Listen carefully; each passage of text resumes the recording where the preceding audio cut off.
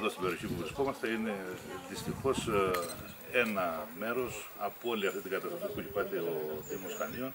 που αναδείχθηκε από τις τελευταίες ε, έντονες βροχοπτώσεις. Δεν είναι όμως οι έντονες βροχοπτώσεις, είναι η αδιαφορία των υπηρεσιών και του κράτους, είτε είναι τοπικής διοίκησης, είτε περιφερειακής, είτε κεντρικής εξουσίας, που τόσα χρόνια διαφορεί σε εκκλήσεις κατοίκων όπως είμαστε εδώ στην περιοχή της οδού Μαντιρέπου που εδώ η κατολίσθηση δυστυχώς αν δεν πάρθουν άμεσα μέτρα υπάρχει κίνδυνο να θεμινήσουμε ακόμα και ανθρώπινες ε, ζωές.